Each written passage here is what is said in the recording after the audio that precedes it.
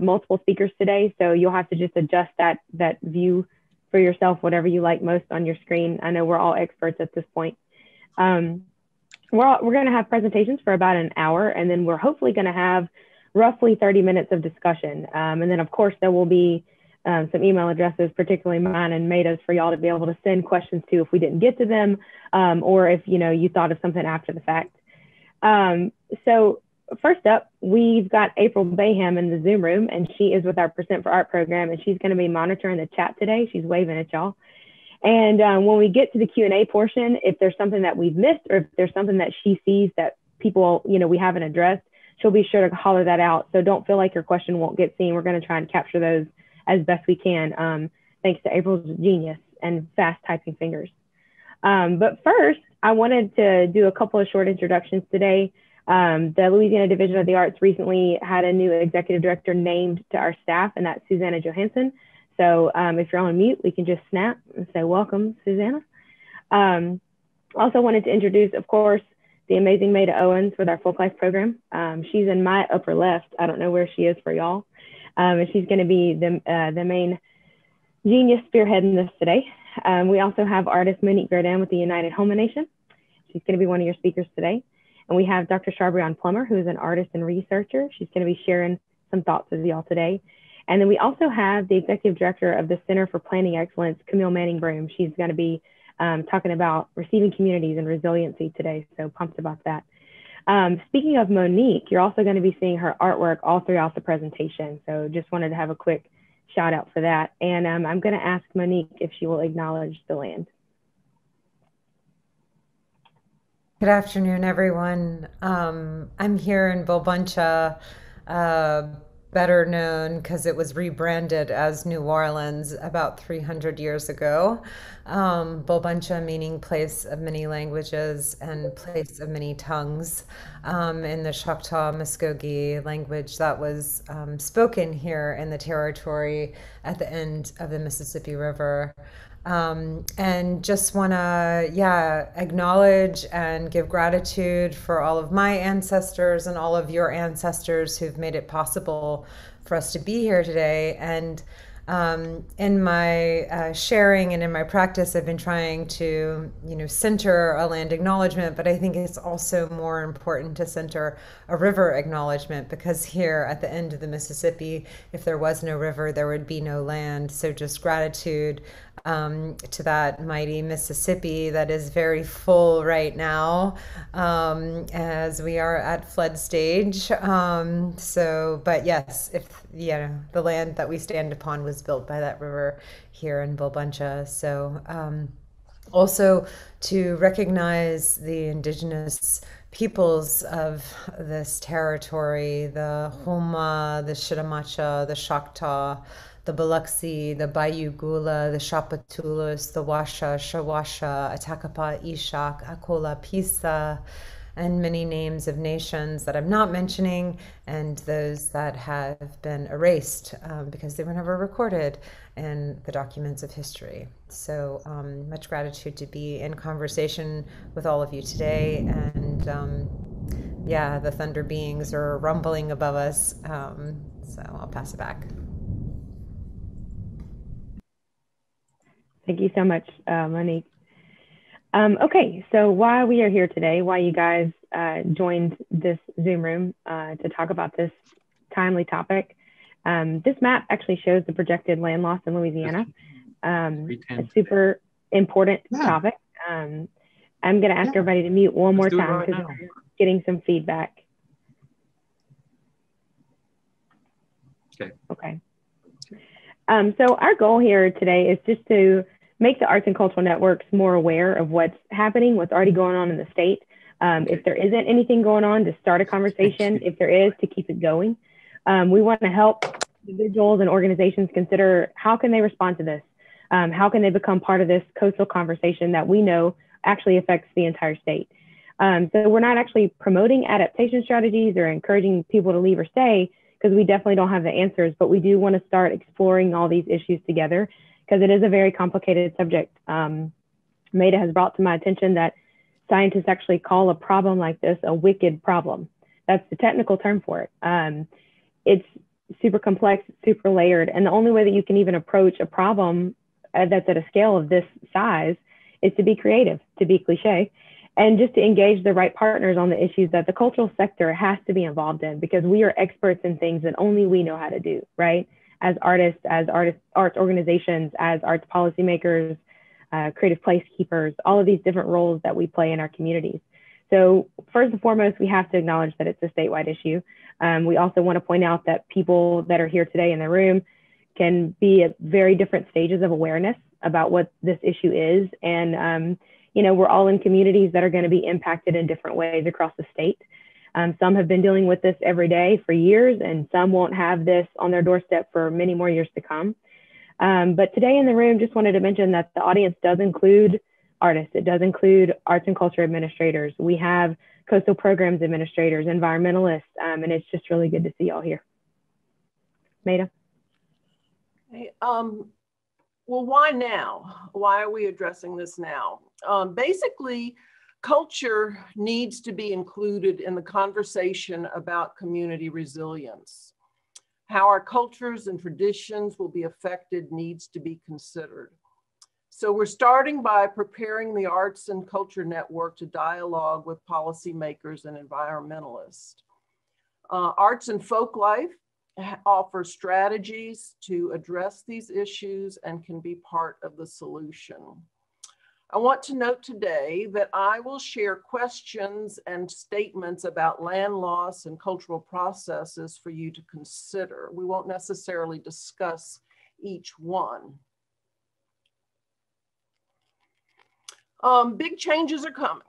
Uh, this map shows what will happen nationally as sea levels rise and the resulting migrations. The counties in blue along the coast will lose land to the ocean. The more land counties in, uh, the more inland counties in shades of red are counties that will see increased migration. The darker the red, the more migrants they will receive.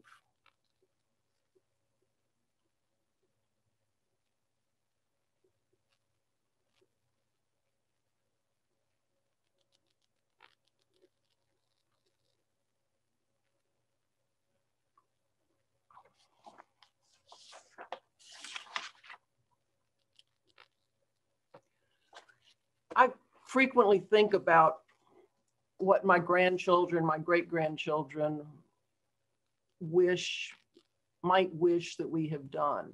And this is really what's motivating me about a lot of this. Um, in 2005, after Hurricane Katrina, the Coastal Protection and Restoration Act, known as CPRA, was created to address the physical landscape and it is legislatively mandated and, and quite well funded.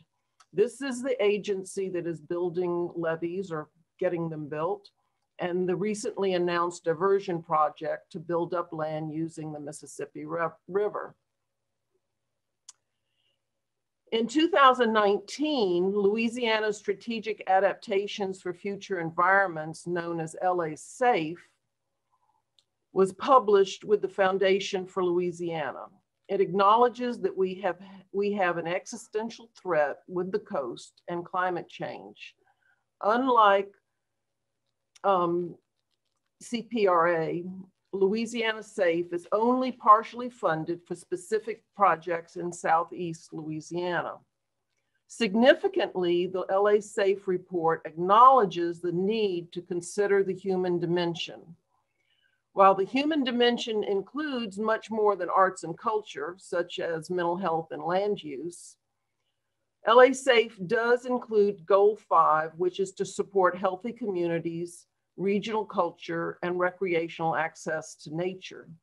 It identifies the Department of Culture, Recreation, Tourism as the state agency to address this. Strategy two is to preserve and support Louisiana's culture and heritage, which would be addressed by the Office of Cultural Development. This agency includes the arts, historic preservation, archaeology, CODOFIL, or, or French language preservation, and the Atchafalaya National Heritage Area. Of course, we're excited to be included, but goal five is not funded and the timeline is long-term. I'm gonna check to see, see if, um, take a quick look to see if anybody is in the waiting room. I don't think so.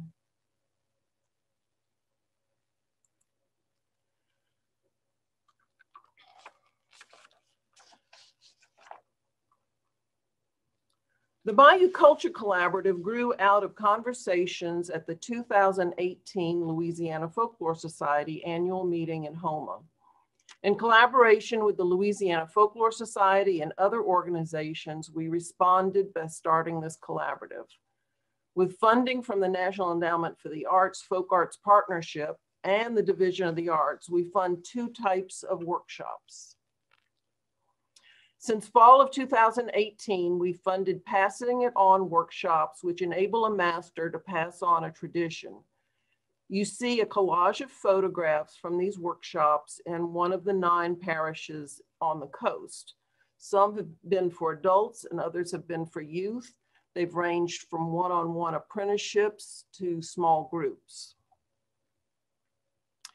The second type of workshop explores sense of place and loss.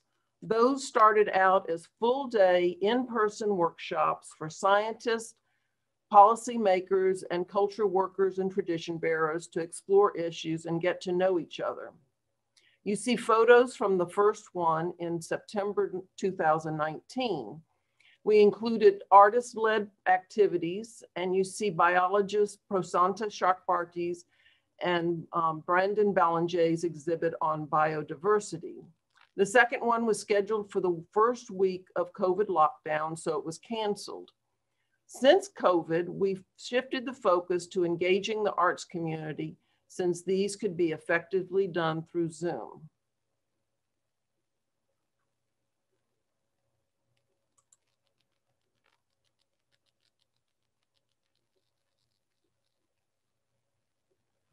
Kelsea? Okay, Maida just shared two main resources and then some uh, main avenues of which she's been conducting some of her work in this vein. Um, but that kind of leads us to where you guys are in regards to all that. I know that y'all, some of y'all filled out a survey before you registered to, uh, for the conference, I mean, workshop, excuse me, and I really appreciate that because we got to see where you're coming from, not just the organization that you represent or your role, but what you feel about some of these topics. Um, top three parishes that responded were East Baton Rouge, uh, New Orleans and Lafayette, followed closely by St. Tammany. Um, 83% of you said that you weren't personally affected, but 20% of you said yes. And there was a little section where y'all could give us some insight into how you feel or, or, you know, what you're thinking about this big topic. And there were two quotes that really stood out to me. Uh, one was not feeling that our land is stable gives me second thoughts. And I just really felt that was super poignant for this entire conversation today. And the second one was the loss of land is directly tied to the eroding of the culture.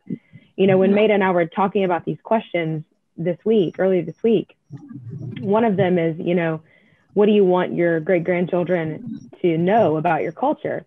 And I was like, Maida, it's really more about what you want them to still be able to experience, right? Which is what that statement, the loss of land is directly tied to the eroding of our culture. That's that's the fear, right? Is that the generations that come after us won't, they'll just learn about it in a book or they'll learn about it from stories from their elders. Um, so some of the questions that we asked y'all were, will you stay? Will you move? Have you thought about it? Um, most of you said that you would stay. It was pretty evenly split between stay and being unsure. Um, and then interestingly enough, there was a pretty large organizational impact statistic where 60% of you said, no, you haven't been directly impacted, but that statistic flips with programming that you're doing. So kudos to y'all for for having programming about something that you don't feel is currently impacting you, but that you know it will. Um, and then most importantly, I think the majority of the respondents were very interested in learning about receiving communities. I know that was a newer concept for me until a couple months ago, starting to think about different parts of the state. How will they receive folks that have to leave because of the water, because of the change, because of the loss of land? Um, and so that kind of transitions us back into Maida. I'm you guys to mute just one more time, getting some feedback again.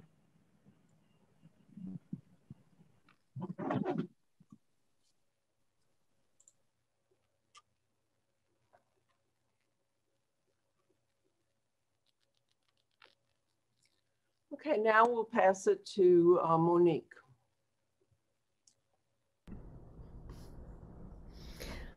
Um, thanks.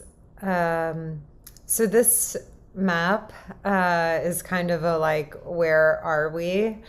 Um, and maybe folks who are more in the southwest part of the state are, are more inter, uh, know this territory better than others. Um, but when Hurricane Katrina hit in 2005, I knew nothing really west of Houma. Um, and I fa- suddenly found myself evacuated to Ville Platte, um, which is, as some might say, the northernmost point of Acadiana or northernmost point of South Louisiana, Boudin, and um, smoke meat capital of the world. And, and some, in some people's, um, yeah, way of categorizing the world.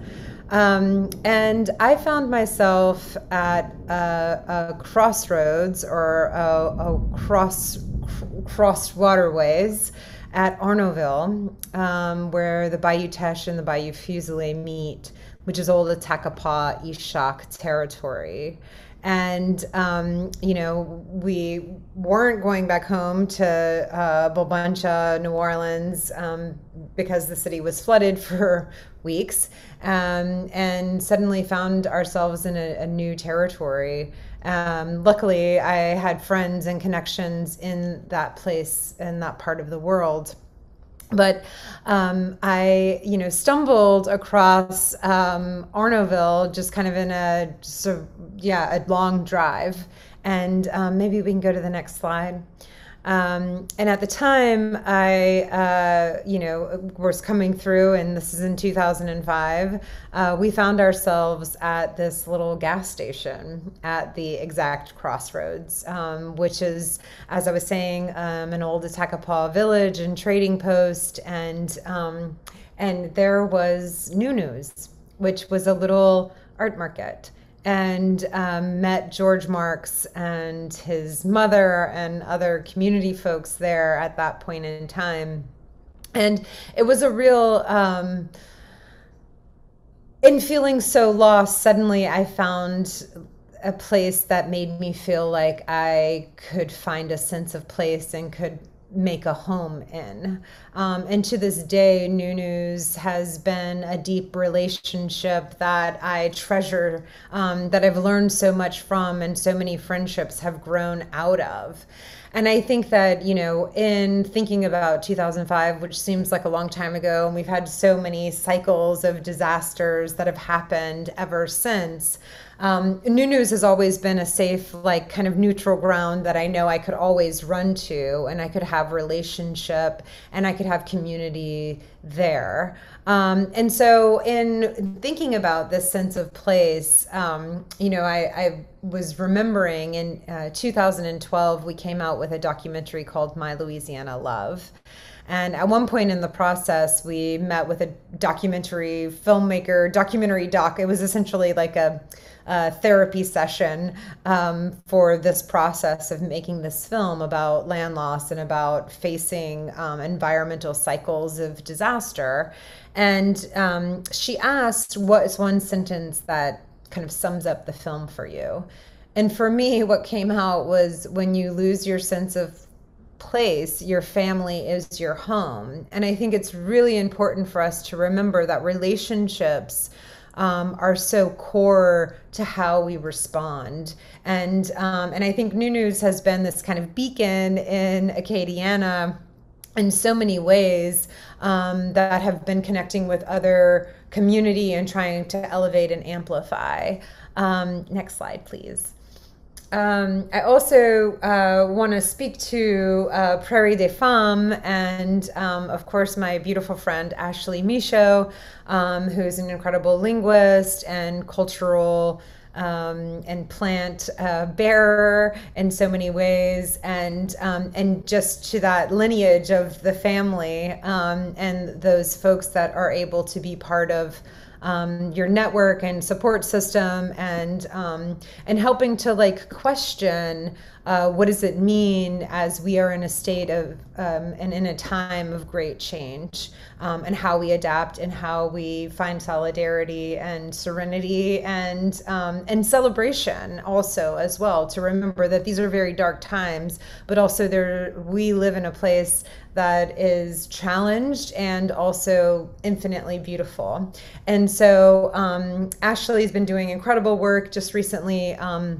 A year ago came out with Omelhus, which is a collaboration of um, of women who are working in francophone um, traditions and um, telling stories. And Prairie des Femmes was uh, this place, um, or is this place between kind of Arnaudville and Grand Coteau, which is said uh, there's legend that um, it was a place when uh, the men had to go to to, to, to war or going out beyond um, the territory that that was a safe neutral space where women would go um, and, and found um, found uh, support and also um, were were in a kind of sovereign space. Uh, next slide, please. And Ashley's work is amazing. So just to to follow that, um, she's on Instagram and um, just an incredible beautiful uh, human. Atelier de la Nature. Um, we uh, mentioned uh, Brandon Ballengée earlier in the uh, presentation. So, Brandon is an incredible artist, but also an ichthyologist. And, um, and uh, you know, our relationship, it was, of course, at Nunu's, where we were introduced by George Marks and um, our friendship and collaboration grew from there. So just to kind of think of these, um, you know, the constellation, right, of community. And um, Brandon is a really amazing um, human, just and also decided to move to Louisiana with his family and his partner Aurora.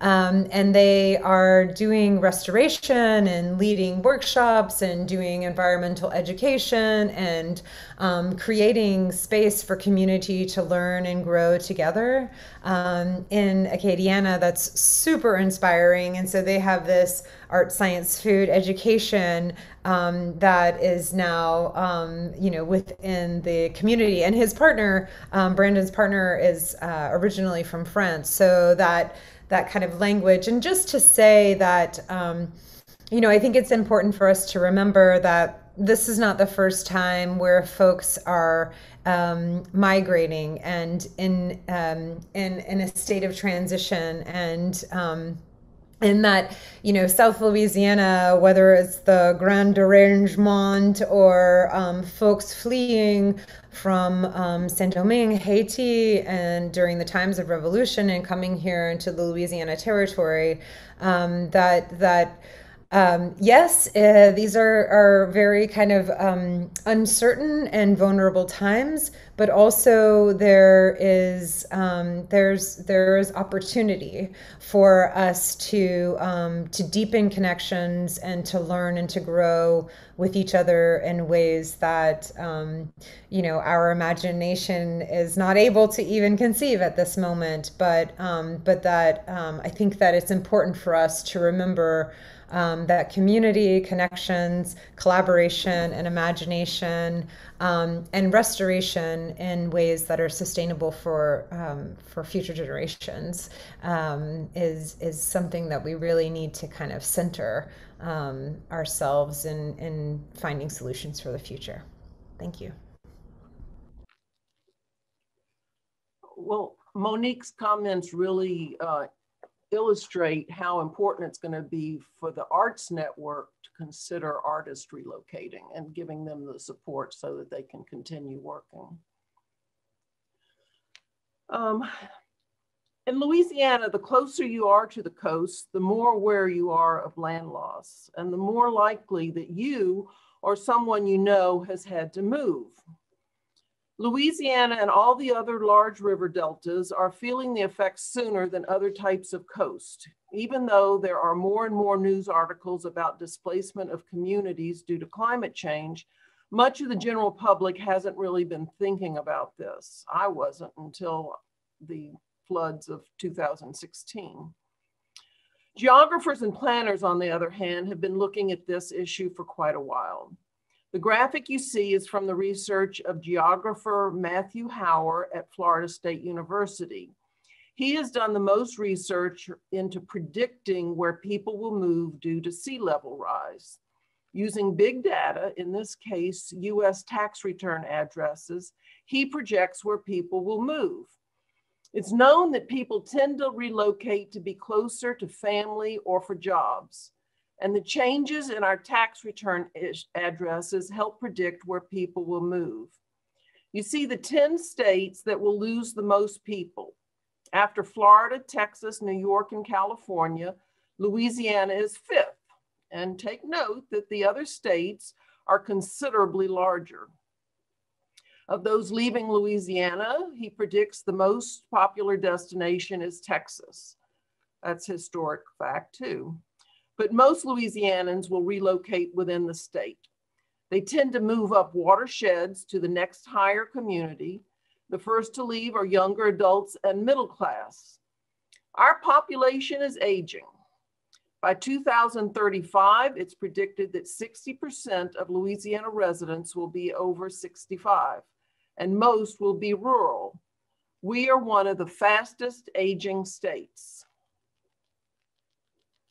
The second graphic is also from Hauer's research. It shows that Louisiana is second in the net loss of population, even though we have significantly less population. So what does all this mean for Louisiana? Louisiana has the highest rate of native born residents in the country. Terrebonne Parish has the highest rate in Louisiana, and it's also the parish with the most land loss. Many will relocate several times because they don't want to move too far from family and friends. Actually, many have already moved multiple times. The communities where they move are called receiver communities. Many are quite close to the coast and increasing in population. These include Houma and Thibodaux, but they will eventually lose population too. Louisiana's history since European contract is one of migrations within the state and constantly adapting to the changing landscape of the Delta. Many residents are not aware of this. For example, there are many relic towns that have been abandoned in Louisiana. So this is not new, but the scale is increasing. Actually, all of human history is one of migrations. With migration, there will be culture change, but many aspects of culture are very resistant to change. For example, foodways. So our culture will survive, but some aspects, and they may be important to you, may change unless we make an intentional effort to not let that happen. So next you'll hear from Charbrion Plummer. Thank you, Maida. Hi, everyone. Uh, so we can go to the next slide. Yep. Um, so as you heard a lot of folks say, and something that, you know, I definitely align with and have been thinking about as I've been brought in to share my thoughts about this work is this notion of sort of thinking of myself as a future ancestor. What what I want my grandchildren to know, or like Kelsea and Maida were saying, to have experienced.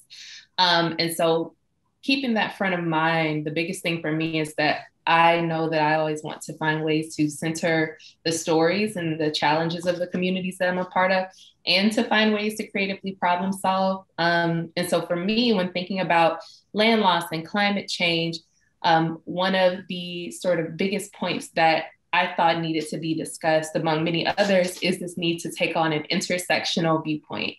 Um, so Dr. Kimberlé Crenshaw was the person who initially coined the term intersectionality. It's something that's sort of existed and been present, but she really helped to give it voice. And intersectionality, you don't know, is the interconnected nature of social categorizations such as race, class, and gender. Um, and they're regarded as creating these sort of overlapping and interdependent systems of oppression or disadvantage. So I'm just going to share a few things about how this is connected to land loss um, drawing on some scholarship, collective scholarship of Dean Hardy, Richard Milligan, and Nick Heynen. Um, so to the first point, how is this connected to land loss? So it's no secret that many of our coastal communities are in a vulnerable state. You saw the map that Maida had. um, because of climate change. And so, what I'm asking for uh, us to consider is that we are doing ourselves a disservice if our analysis of environmental shifts and climate change don't have an accompanying critical race analysis to help us identify the unevenness um, or inequities within those vulnerabilities that we are facing within our geographic communities. Um, and so, one way to sort of do this is to look at the history um, that shows the correlation between land settlement and racialized projects, or how like race has been constructed and developed, and thus how treated people have been treated um, as a result of that. So there were a lot of social and political processes along the southern US coast that historically dispossessed racial minorities through land grabbing um, and other inequitable practices. And so this dispossession and forced movement ultimately impacts how people are viewed or defined as products of broader social, political, um, and cultural forces, et cetera. So how we even come to understand race and its cultural byproducts and thinking about arts and culture are iterations of what once was because of how folks migrated, forced or otherwise, and adapted or possibly didn't survive. So if we know that race and all these identities are always information, then Black and other non-white groups, um, our vulnerability to sea level rise is also always information within these coastal regions in terms of how we might need to adapt or have adapt histor- adapted historically over time. Um, so one of the things I like how Laura Pulido frames this, she looks at the history of land and, and really calls for um, a, a, necessary analysis of this if we're looking at climate change, because she states that sea level rise is not the inundation of neutral land, but that the land facing inundation is racialized land, and that land has been appropriated, settled, cultivated, and distributed through a long history of racialization. Um, another thing that I came that came up for me as I was reading and really starting to educate myself is that there's um, a greater need and a consist- consistent and continued need for equity around language and decision making. Um, so that means utilizing and educating oneself on distinguishing terms such as environmental racism or climate gap. Um, so Jean Christophe Gaillard says that by overlooking everyday life in climate change adaptation, we are participating in the development of a climate gap or the gap between the large amount of attention given to climate change on an international or national scale and then the everyday concerns of vulnerable communities. So spaces like the one we're in today are those uh, sort of incubators or areas where we can start to do that level of like deep looking into everyday vulnerability. Um, and it also means taking time to like have conversations around how folks of color have been disproportionately affected from environmental hazards that might include toxic substance release, water quality, et cetera. Um, but also one thing that has become really big for me, and if you work in the arts, um, I know oftentimes it's very easy to say, well, it's like this is a very liberatory space. Arts and culture help us to feel liberated and free, et cetera. But we can't allow colorblindness to inform how we might position ourselves as receiver communities or our discussions of migration and adaptation. Um, so colorblindness doesn't allow us to be honest about the limitations or reputations or perceptions that we might face um, as within our geographic location. So for example, you might feel like, well, we serve everyone, we welcome everyone. Um, but if somebody is leaving a traumatic situation, it's important to confront the blind spots that you might have about your own institution, city, neighborhood, et cetera, um, because there may be challenges or an opportunity to build trust with someone who's relocating to an area that they may not necessarily feel welcome in or they're trying to you know gather their footing and figure out where do i belong. Um, it's important to remember that we don't operate in a vacuum and we should continue to ask ourselves how our organization is embedded within the place that we call home. So while you may have a working knowledge of your area someone new to that place won't. So how do we grapple with um, the points in which we might overlap in terms of how we're perceived and how others perceive us, and then where we we sort of deviate from that. And then lastly, how are we centering multiple knowledges and experiences? So as we continue conversations like the one today, who's at the forefront of that? If you want to replicate something like this in your own life, um, based on what you know about the history of place or home, what are you doing or what can you do to ensure that history doesn't repeat itself um, what needs to happen in terms of moving resources, ideas, or people, et cetera, um, in order to center environmental justice while navigating the uncertainty of climate change. And then more importantly, Uh, how can arts and culture honor what is lost or that which is past and creatively address what's to come? So we can go to the next slide, Maida.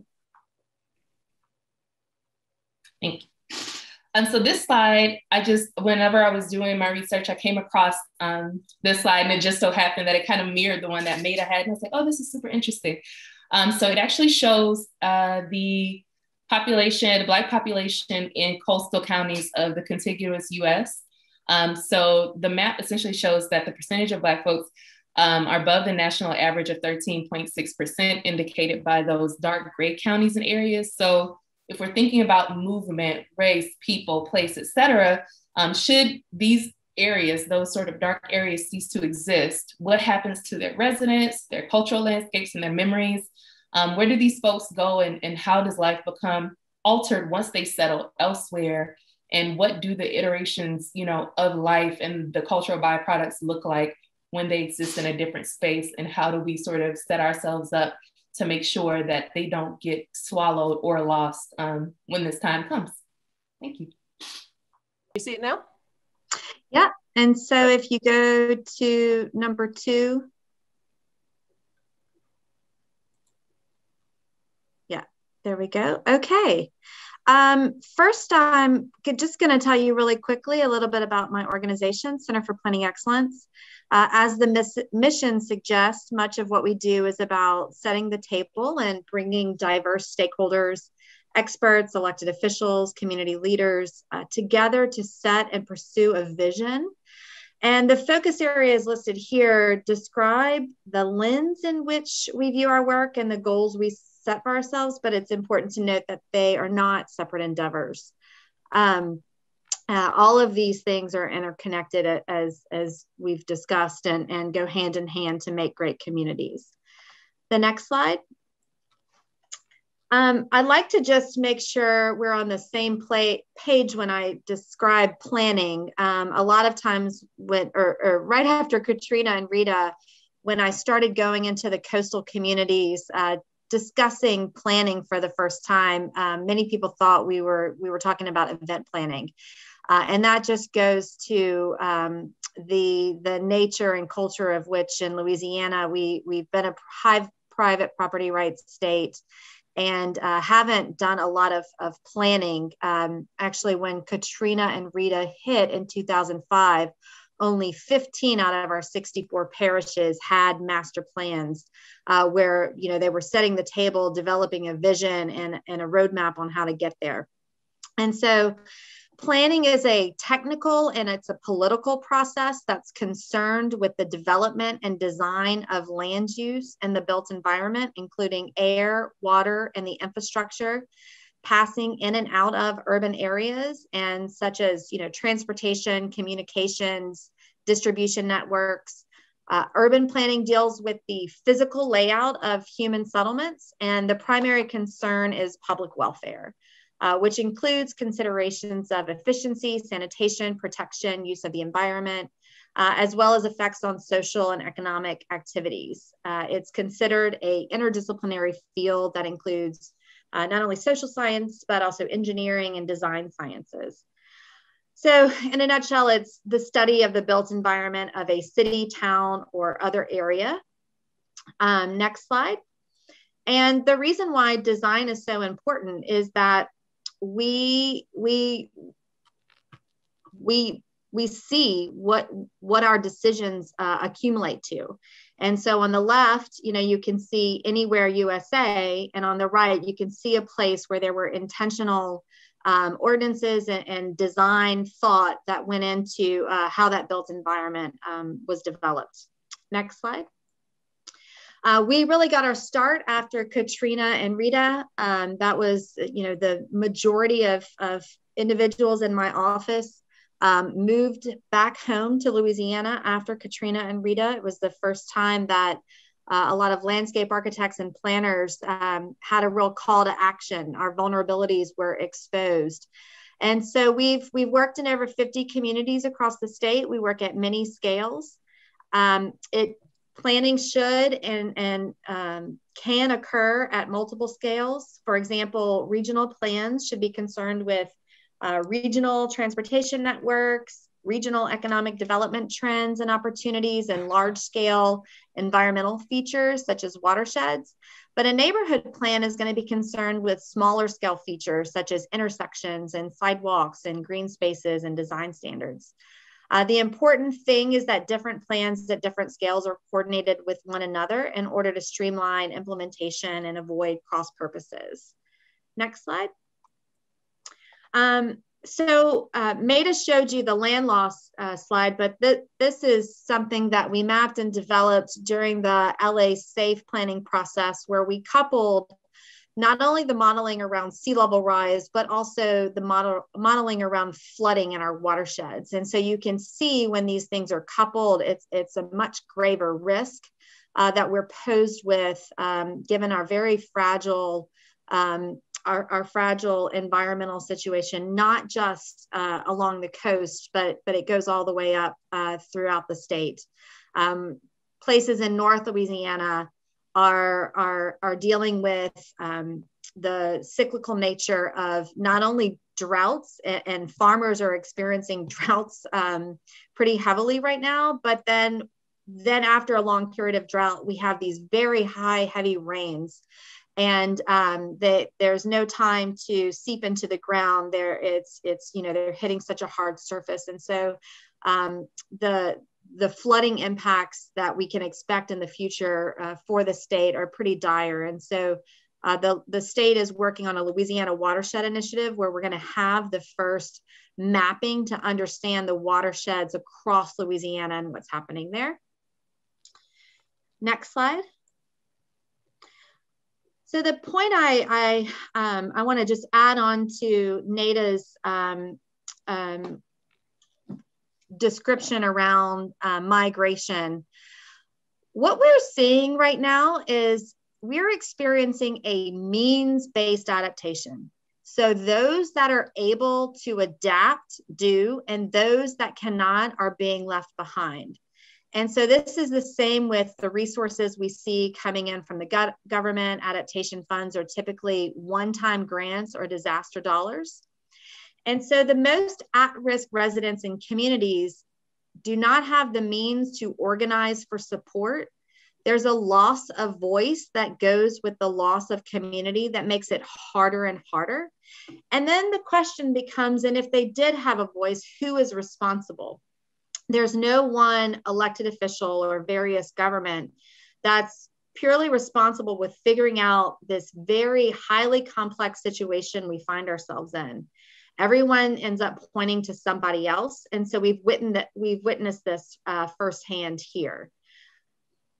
As Nada mentioned, next slide, um, you know, people are also leaving Louisiana. I think what, what causes me a lot of concern is that it, it's not it's not the people leaving the high risk areas. It's also people leaving and planning for their children to leave even the what we would maybe consider as the receiving communities. And so the city CityStats survey um, conducted in 29 found that um, um, parents in the east baton rouge parish want their children to leave and only less than 10%, um, only less than 10% want them to live in East Baton Rouge Parish. That that's highly concerning. It's um, and, and, the reality is, and, and I know you know many people uh, with young children, um, their their children are told from a young age, you know, you're going to be going away for college. You're not going to be staying here. And so, I think we've got some pretty big challenges ahead of us on the migration front. All right, so I was asked to talk to you about, next slide, Maida, please. Um, what do we need to do? Uh, so we've got these big climate change factors. We have massive economic shifts occurring. Uh, what is it that we can do to um, be able to not only grow in the future, but, but, but thrive? Um, one thing is we've got to focus on mitigation. This is slowing the negative environmental changes by, you know, reducing the the the um, horrible um, um emissions that are occurring to to increase temperatures globally. Um, and then we've got to adapt. We've got to make the changes that enable people and communities to thrive amidst these environmental changes. And so these are not mutually con- exclusive, they are absolutely both necessary. Next slide. I won't go into this, but the biggest is to approach on mitigation. Louisiana is a high carbon intense economy, and the globe is moving to uh, a low carbon economy. And so uh, we, we should expect a lot of fluctuation in um, the, the mainstays of, of our um, economy in terms of oil, gas, and petrochemical. Um, we don't know what the, the shift is going to look like, but um, it's absolutely going to happen. Next slide. And then what I'm really going to focus on today are the approaches for adaptation. This is what CPEX does with communities and, and the states. Um, it's focusing on resilient infrastructure, water management, and then from the design perspective, low growth and low impact development. Next slide. So the first, um, uh, Nada asked me to talk to you a little bit about adapting to these changes and, and the LA Safe initiative. Um, and, and, this is just a, a rendering. I'll, I'll, move on to the next slide. So this was a really challenging task. We went into six parishes uh, led by the state of Louisiana, the Office of Community Development. We were, we were hired as planners to help to draft the plans and, and work with the communities. But for the first time, the state was going out and conducting large workshops, um, really outlining the risk to communities, telling you know the, the really hard story and hard truths about what was happening. And we essentially, through countless uh, public meetings, did a lot of crowdsourcing of ideas to develop these adaptation plans where we focused on with the 50 year vision of a very high rate risk place versus a medium risk and a low place uh, risk look like. Uh, this is the, the higher risk area. So we could see, you know, a movement from um, a working coast to a more recreational coast. Next slide. That, that can withstand the water. Um, to a place that's kind of in between, definitely has a great relationship with water, but, but you know, really has to rethink its infrastructure, nature-based solutions and such. Next slide. And then in the, the lower risk areas, we've got to focus on, you know, what is it that the, what's going to attract people uh, to this place? What's going to keep them here? And then when they get here, what kind of networks are we going to need? Um, how do we make a transition, um, you know, where for the first time we're, we're talking about let's capture increased population and build the communities that uh, really tell a story or focused on quality of life, um, character, sense of place. And so um, I, I, know that we're running out of time and Maida, I want to check with you on time because I, I know that you wanted to have a Q&A. Yeah, uh, go ahead. Yeah, we're, we're going to go talk for an hour and discuss for an hour, present for an oh, hour. okay, okay, okay. Um, and so I encourage you all to to check out the plan if you want to know more details. Um, but you know this is is really creating a more compact development style that has a, a good relationship with water and the natural environment enhances access and mobility uh, with choices to housing choices to of transit and um, everyone you know lots of green space and, and things of, of which you know we would want to design our communities. Next slide. And then um, I just wanted to add that I think this is this is uh, critical. We um, Center for Planning Excellence worked with the governor and the governor's office to put on a workshop in August, uh, October of 2018. We brought the, the governor, the cabinet, and the sub cabinet together and facilitated a two day workshop walking through what climate change looks like in the state of Louisiana um, to you know what is what are the policies what what's ahead of us and how how can we get everyone involved and, and seeking opportunity in this. And next slide. Uh, and and yeah it was really fun because we we had everybody um, you know showing off their artistic skills and, and, drawing images and and um, really trying to tell the narrative of, of louisiana in the future. Next slide. But at the end of the day, I think, um, and, and this is this is also um, you know, supported in uh, academic literature. When we look at the climate risk ahead of us, uh, and we think about the scenarios in which um, you know we can we're working with this we we've in this sorry this slide we we went through an activity to outline four different scenarios and so on one hand you've got you know the extreme worst climate impacts. And then on the other hand you still have bad impacts. It's just not as bad as seven you know seven meters of sea level rise. Um, but then on the other axis, you have, you know, um, long-term planning, good politics, you know, integrated planning, you have transparency, you have community input, people having a voice at the table with government, uh, co-designing and collectively making decisions. You have politicians, you know, responsive to uh, its constituents' needs.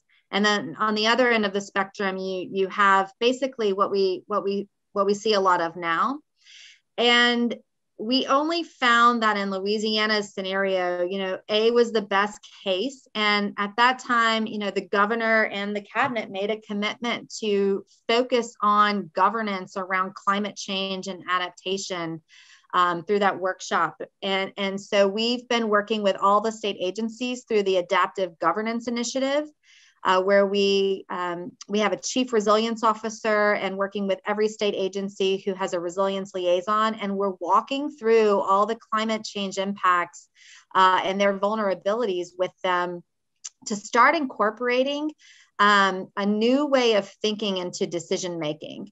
Uh, and then we've also, you know, the, the, the development of the Climate Initiatives Task Force, where Louisiana is going to have its first climate action plan. Next slide and so I'll just end with, um, you know, at the the annual Smart Growth Summit, um, we've got great presentations from last year covering all of these topics, um, and and get ready for fall of 2021 because we'll we'll we'll also be having this conversation. Um, and that is that's where I was going to end, Maida. Okay.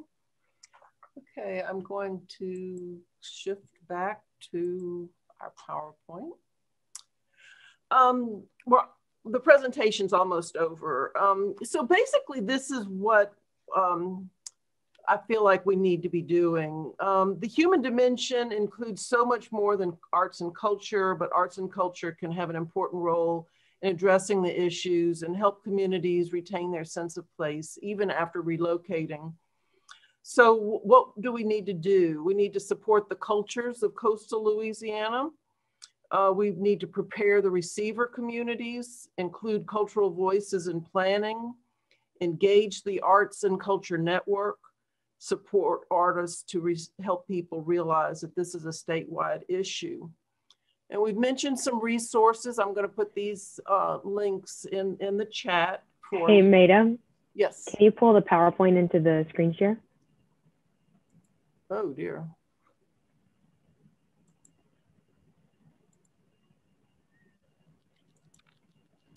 Um, so here are the resources um, that I mentioned, uh, that we mentioned during uh, the presentation. And I want to point out Shirley Laska's book, uh, Louisiana's Response to Extreme Weather. If you want to get more involved in, in understanding some of the cultural issues, um, she, she includes a lot of these in this book.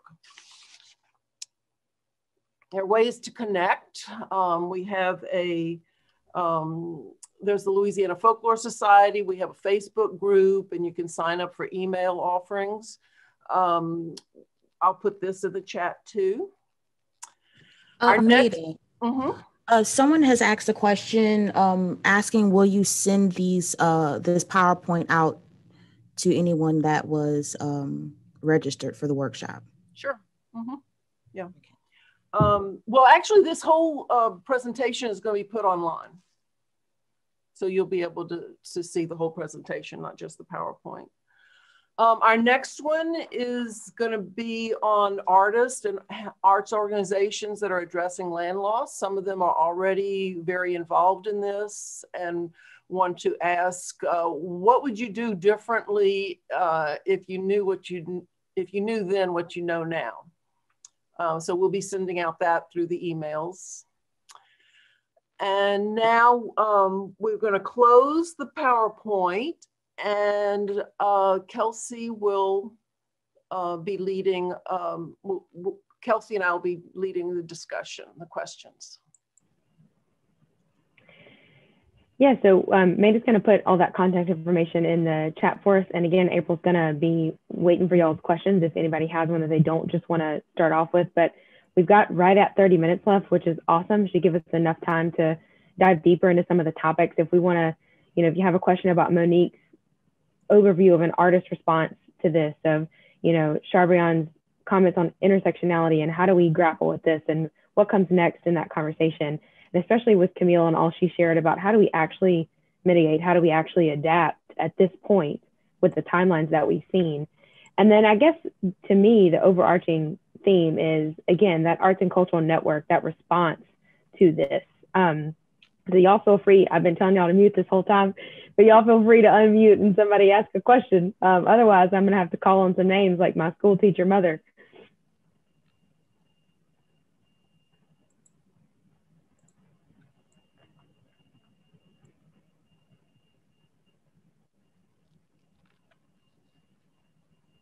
anyone want to go first? I have a question for Monique. Uh, I was very uh, interested in when you described all the different uh, native tribes uh, that whose ancestral lands you were on when you went up to Arnaudville. And I'm participating in a lot of Zoom meetings where they ask you two things to identify in the beginning is your pronouns, but also whose ancestral lands you're on currently.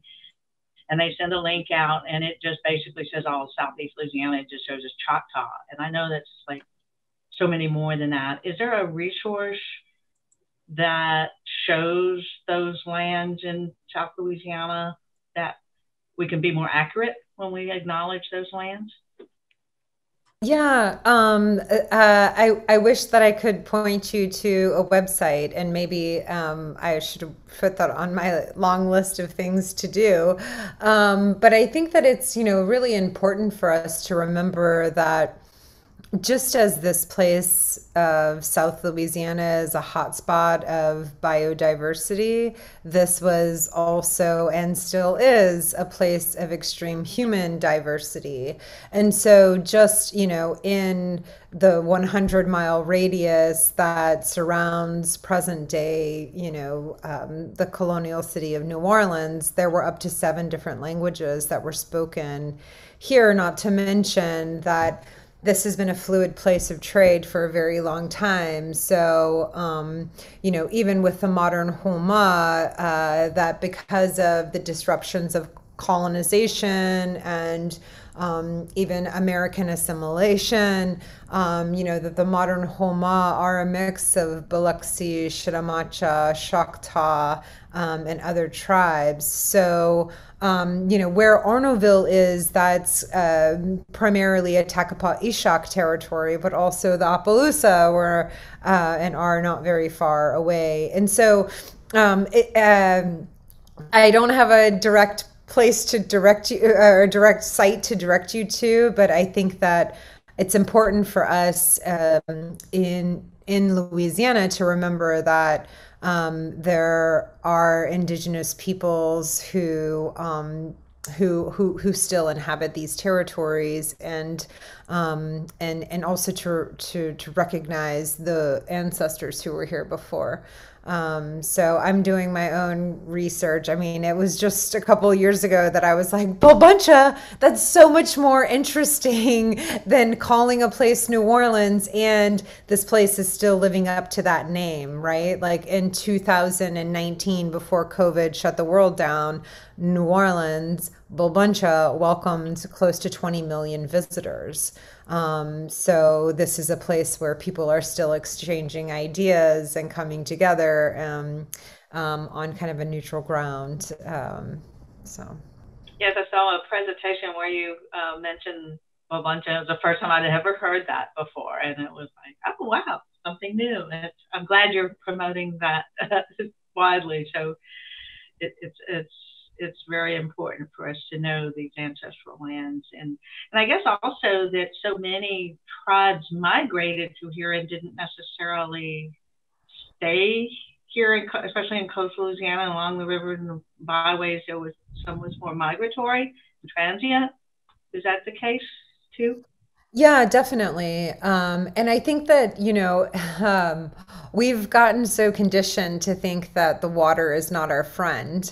Um, but what's really interesting, even when you go to colonial documents, is, you know, I've been doing a bit of history research with my own family, and it's like, oh, they're down in like Plaquemines Parish, and then they're in Opelousas, you know, and like that, that movement and that mobility because of water and how water, you know, really is a gift we just have to learn to live with it in in a right relationship.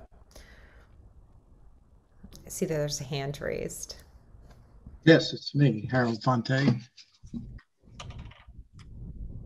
Shall I go go ahead and speak? Yes, Sally Forth, Harold.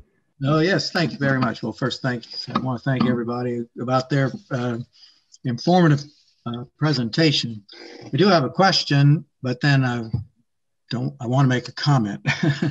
uh, first, the question uh, prior to the uh, issue of uh, global warming and climate change, we know, and the maps clearly show how so much of Louisiana's land loss was due to subsidence, which was uh, uh, exacerbated by oil drilling of canals and so forth, which hastened land loss.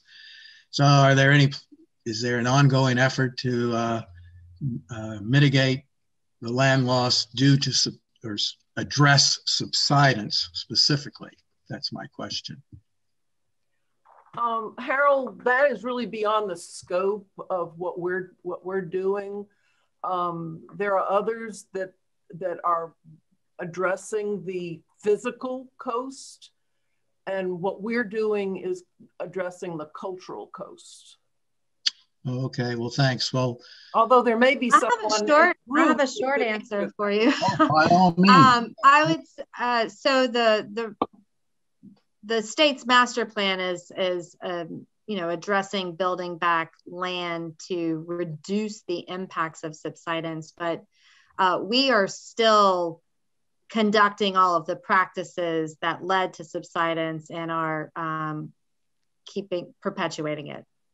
Oh, good, good, right. Because I think this land loss thing has to be a multi pronged effort. That's really my comment because uh, naturally we're all concerned about uh, man made global warming and so forth and how it contributes to sea level. But uh, I don't think uh, just in terms of a worldwide perspective, we can't, that can't be our only means of addressing mm-hmm. rising sea level, at least in Louisiana. Subsidence has to be part of it. And uh, I don't want to see Louisiana sink. Nobody does. Uh, I certainly don't want Louisiana to get any warmer because our warm, summers are long and hot enough as it is. But on a worldwide basis, we have to be very, very, I mean, thinking worldwide, globally here, have to be very careful about our solutions because we know that worldwide, just to make a point, when traditional fossil fuels become more expensive too quickly, marginal people across the planet are kind of forced over the edge. Marginal people become poor and they resort to stuff like burning the woods, burning their furniture, and burning cow patties to uh, stay stay warm. And all those things do generate carbon dioxide. So we have to be very careful in terms of the world's poor. And uh, one other reason for having caution is because you know, we're very blessed by this.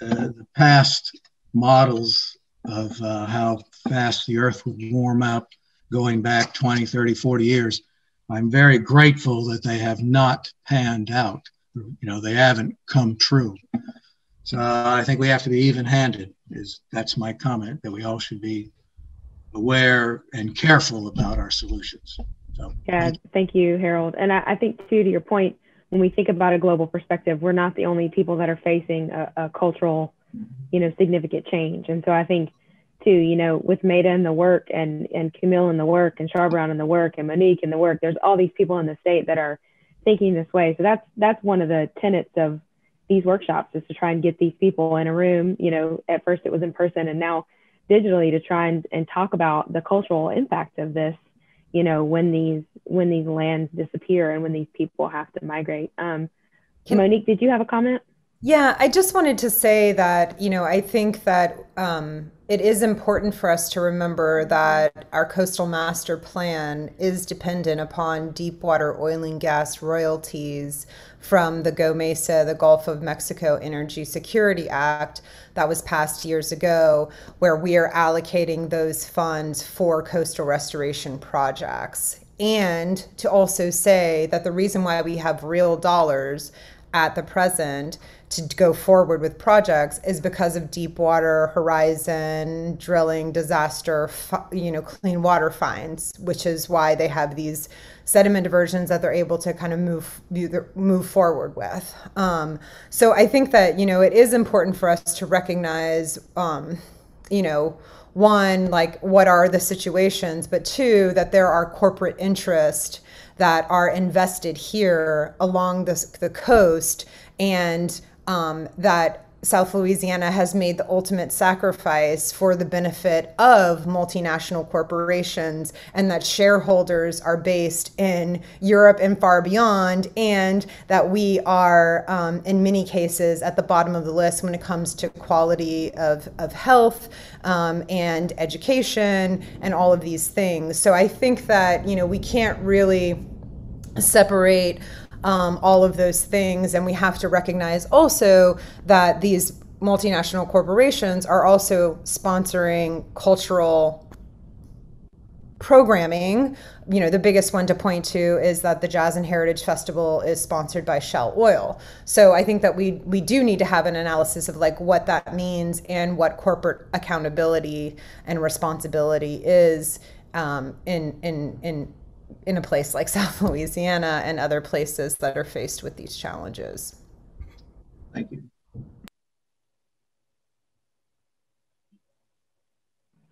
Gwen, I thought I saw you unmute. Did you have a question or a comment? I did, but it's been answered. Okay. it's been addressed. Thank you.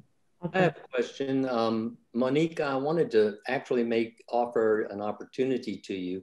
I'm on the board of directors of the Abita Springs Trailhead Museum, and we have a little one room museum in the park here. And, uh, you know, the, the heritage of our town is based on Choctaw culture. And I've been trying to find ways to support that and enlighten the, the locals uh, about the significance of that. And uh, maybe you could help with that process. We'd, we'd be happy to offer you the opportunity to come to speak when it feels like it's safe to do so and uh, show your work. I'm, I'm a big fan, and uh, that'd be a great thing to, to see you here. Thanks, I'd love that. I'm also working with uh, Sierra Lagarde, who's from the Bayou Lacombe Choctaw, um, and we're doing a um, we're supporting a network of indigenous gardens and talking about plants and um, sharing that knowledge too. So I I, I, I wrote your name down, and um, if you want to add your uh, email in the chat, I'd love to stay connected. Thanks. Awesome. Thank you for speaking up about that, George. David, you had a question or a comment?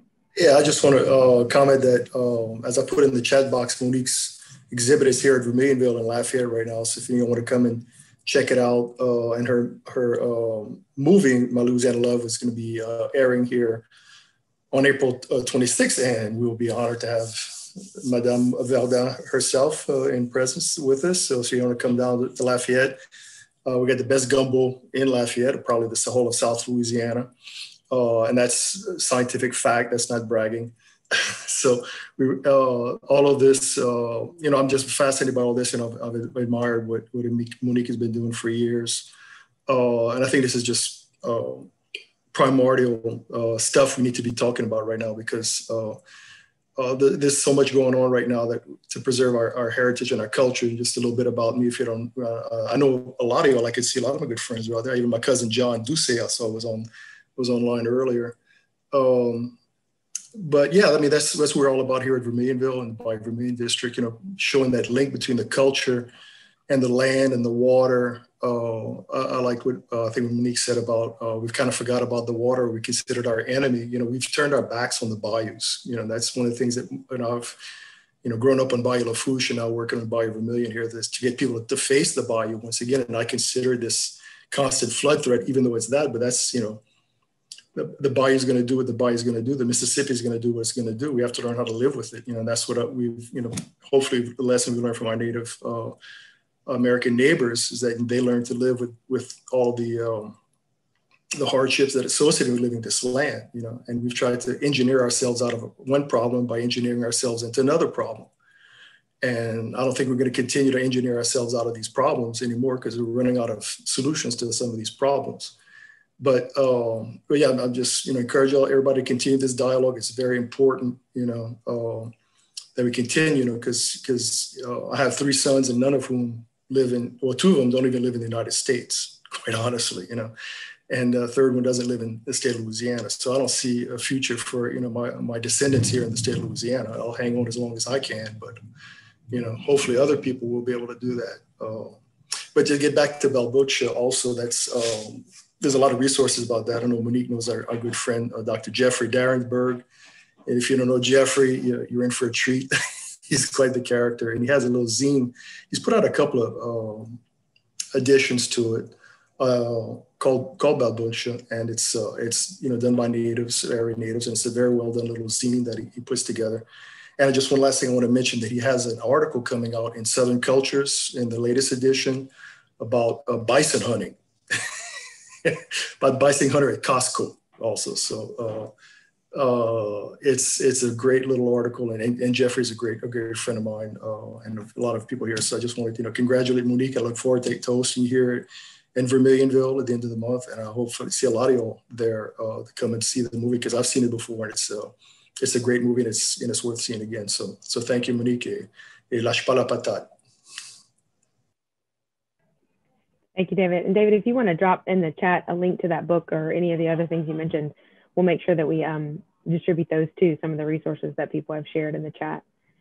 Anybody else have any more questions or thoughts about um, the role of the arts, creative placekeeping, any of that?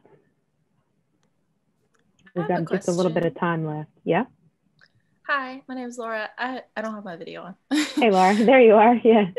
I have a question for uh, Dr. Charbia. Um, I saw in your presentation that you are also an artist. So I was curious about your artistic practice or how that tied into your um, like academic research on this subject.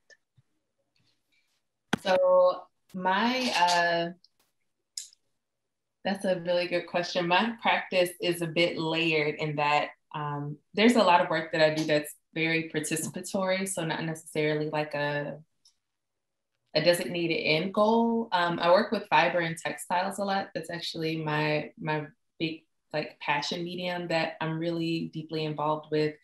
Um, it connects more so to cultural memory and less around land loss, although I feel like part of kind of my overarching interest is with how um, women of color, whether it's Black women in the South, folks in the global South, et cetera, kind of use textiles, et cetera, as this vehicle for cultural memory, um, passing on knowledge and whatnot. But even sort of expanding this notion of fibers and what's considered fibrous. So, in me returning back home, I moved back home last year. Um, I've been getting really deep into just Spanish moss very randomly. It was um, yeah, it was a very strange sort of like pathway back to it, but it in itself is a fiber. And so like I've been sort of playing around with manipulating it and how it could be used, um, whether it's for weaving purposes or stitching purposes. But um, my own sort of personal practice really ties into just figuring out creative responses to things like this. So if we were in person, I probably would not have like sat and spoken with y'all, but we probably would have like co-created an installation or I would have made prompts that we could respond to um, and utilize creatively. But then I also combined kind of like quilting, embroidery, etc., um, to create imagery, messages, and things that go back to that point earlier about sort of amplifying our histories and our stories. So that's a little bit about me, but I created artwork that accompanied my dissertation. It was a manifesto um, that sort of looked at the kind of life and world that I wanted to shape for myself, for those who will come after me. Um, and that work continues to. Um, but yeah, that's kind of my practice in a nutshell. I don't know that there's a one to one correlation with this subject versus, um, besides like the work I do with textiles, everything else is very much me utilizing whatever I feel kind of best conveys the message that I'm trying to get across at the time. Thank you. Thank you for asking. Yeah, thank you for that question, Laura. We actually got a, a question via email. It asked about um, just while we have everybody still on the call and the couple minutes we have left, um, just the thought process around how art or arts organizations, cultural entities can, is there a concrete evident impact on dealing with climate change and environmental impact? Um, so I don't know if Maida or Camille um, or Monique, Charbrion, if anybody else on the Zoom wants to, to touch on that one. I'm going to stay quiet on that one to hear what everybody else has to say before I pop in.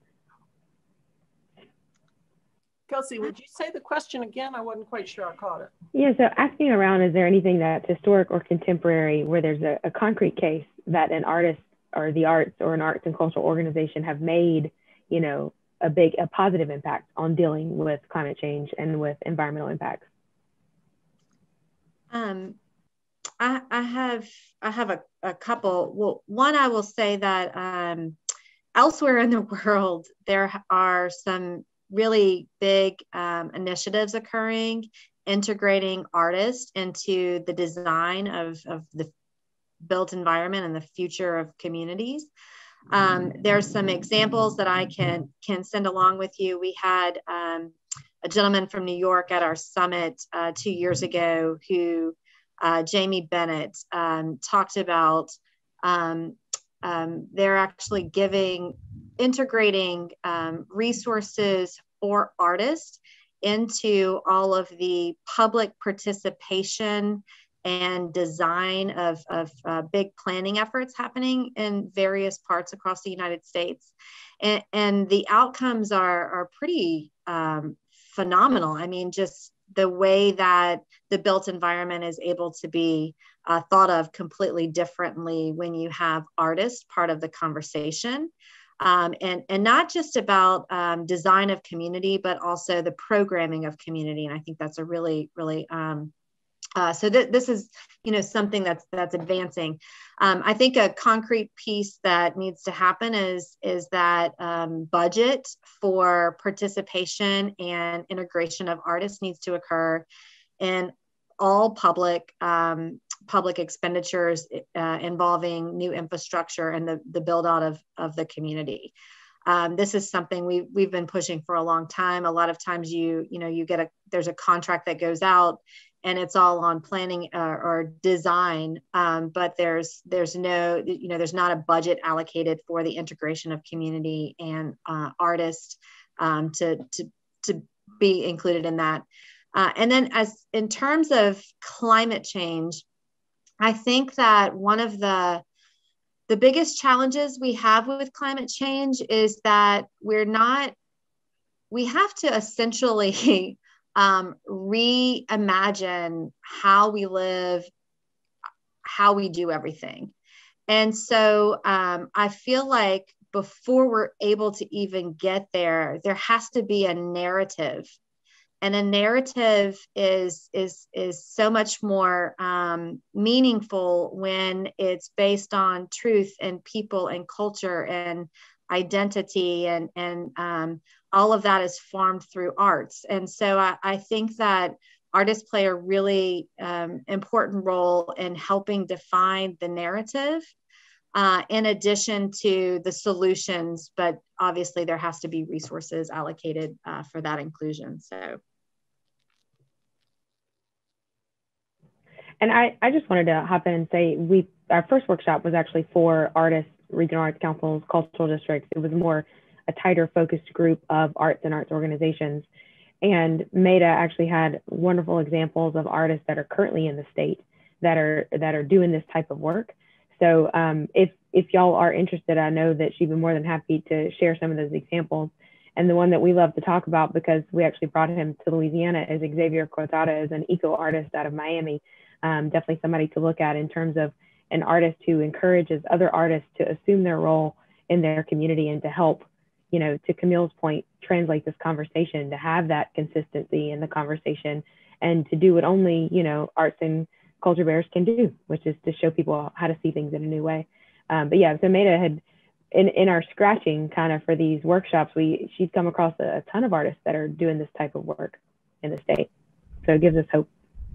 Yeah, and I just wanted to add that a Studio in the Woods, which is a program through Tulane University, um, has just been really centering these conversations and and welcoming artists to you know, to to dive in um, in ways that um, have been super inspiring and have led to more conversations and connections.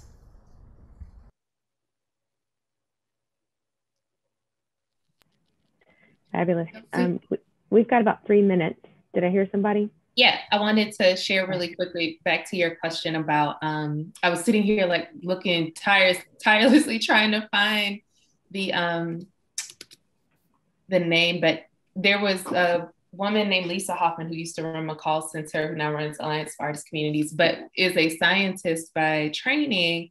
And um, I will try my best to find it. But if you if folks were to look up McColl Center when they had their sort of visual arts, environmental artists in residence program, there were folks who were coming into Charlotte who were looking at ways to respond to certain needs, whether it was native planting, all sorts of other things, and really combine both like environment, ecology, et cetera, and art to create things that could be these living, breathing structures that were embedded within their local community. And there's an artist who came through New Orleans, and I will try my best to remember her name and find it and get it to you.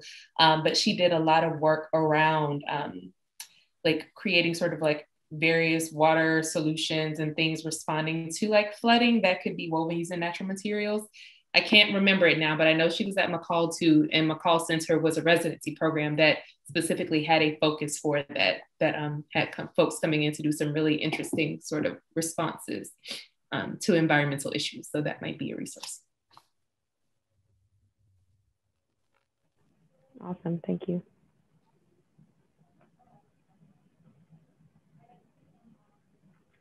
Well, Maida, you feel like we're at a close? Yeah, I think so. Um, again, we, we, want to continue the conversation. We want to have different themes um, uh, and continue, you know, continue the dialogue. And um, again, there there are no easy answers, but I but there are things that we can do. For example, when we talk about um, uh, receiving communities and the the um, sometimes there are clashes between the, the long-term residents and the newcomers well, there are very specific strategies that you can use um, to um, help work pe- help people work through those things. And as models, you can look at all the immigrant groups, all the strategies that they use to retain their culture in a, in a new new land. Um, what you know, whether they're coming far or um, or around from around the world, there are definitely strategies uh, that can help conserve your culture. And so I just want people to just really start thinking about this more intentionally because I think intention is so much of what we need now. Because I know with the French language, there are a lot of grandchildren and great grandchildren saying, I wish y'all had taught me French. Um, and the, so, you know, I'm going to leave you with the question: What would your, what will your great grandchildren wish we had done?